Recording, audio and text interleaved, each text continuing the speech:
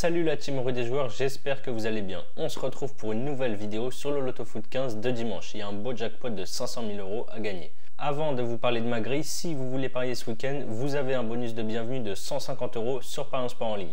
Par exemple, vous misez vos 150 euros sur une cote à 2. Si ça passe, vous remportez 300 euros. Si ça ne passe pas, par contre, Paris Sport en ligne vous recrédite 150 euros, mais en pari gratuit. Le lien pour vous inscrire est dans la description.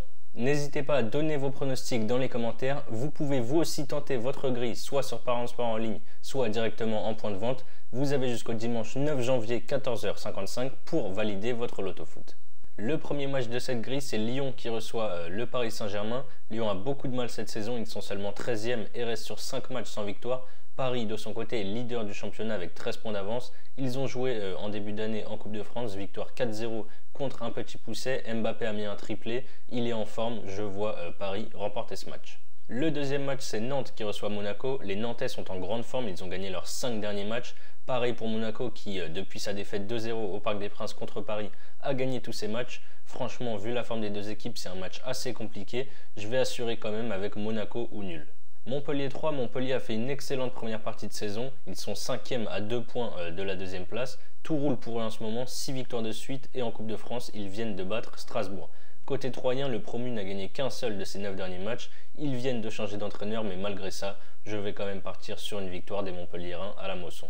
Clermont-Reims, après deux victoires d'affilée, Clermont a perdu à Bastia en Coupe de France. Côté Rémois, victoire 1-0 contre le National 3 et 5 victoires euh, sur les 7 derniers matchs. Il y a beaucoup d'absents des deux côtés à cause de la Coupe d'Afrique des Nations. Je vois clairement un match nul ici, mais je vais assurer quand même avec Reims ou nul à l'extérieur. Ensuite, on a Metz qui reçoit Strasbourg. Metz reste sur deux bons matchs en Ligue 1 avec une victoire 4-1 contre Lorient et un match nul, un but partout à Lyon. Strasbourg, de son côté, vient de se faire éliminer en Coupe de France par Montpellier.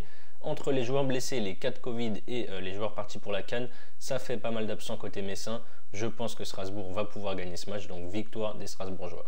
Ensuite, on a 4 matchs de Serie A. Le premier, c'est la Roma qui reçoit la Juventus. Après 4 matchs sans défaite, la Roma vient de perdre 3 buts à 1 contre le Milan à San Siro. De son côté, la Juve, c'est très solide en ce moment avec 5 victoires et 2 matchs nuls sur les 7 derniers matchs.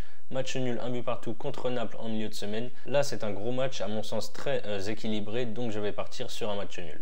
On a un autre choc entre l'Inter Milan et la Lazio. L'Inter, c'est 7 victoires sur ses 7 derniers matchs en championnat. Sur les 6 derniers matchs, 0 but encaissé à domicile. Ils sont imbattables. Alors que la Lazio à l'extérieur, c'est un peu plus compliqué pour eux. Du coup, je vais continuer sur la série victoire de l'Inter. Après, on a Naples qui reçoit la Sampdoria. Malgré beaucoup d'absents, euh, Naples a été très costaud contre la Juve jeudi. La Samp, de son côté, a perdu contre Cagliari et reste sur 3 matchs sans victoire. 6 victoires sur les 6 dernières confrontations pour le Napoli, donc victoire une nouvelle fois des Napolitains pour moi. On a un match très compliqué entre le Genoa et la Spezia, le 19e de Serie A contre le 17e. Une seule victoire cette saison pour le Genoa, 4 pour la Spezia qui a quand même été gagné euh, il y a deux semaines 1-0 à Naples. Je vais quand même donner du coup un avantage pour la Spezia, Spezia ou nul. En Allemagne, on a le Hertha Berlin qui reçoit Cologne. Le Hertha cette saison euh, à la maison, c'est plutôt bon. Ils viennent de battre Dortmund 3 buts à 2 chez eux. De son côté, Cologne, c'est deux victoires euh, sur ses deux derniers matchs avant la pause.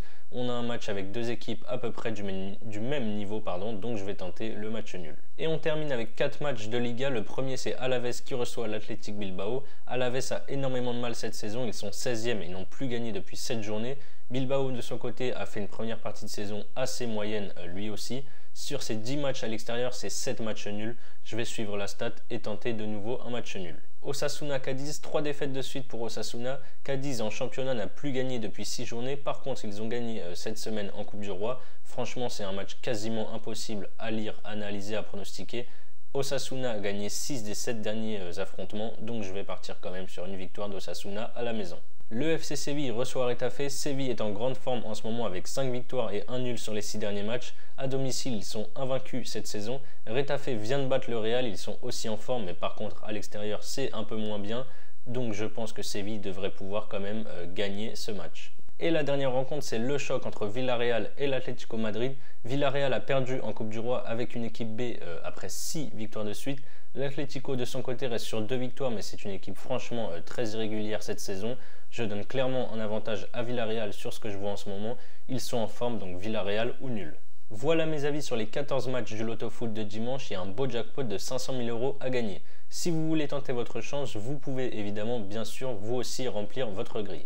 Vous avez jusqu'au dimanche 9 janvier 14h55 pour la valider en point de vente. C'est la fin de cette vidéo, n'hésitez pas à donner vos pronostics dans les commentaires, à liker, à vous abonner à notre chaîne YouTube. Nous, on se retrouve très vite pour de nouvelles vidéos. Bye bye.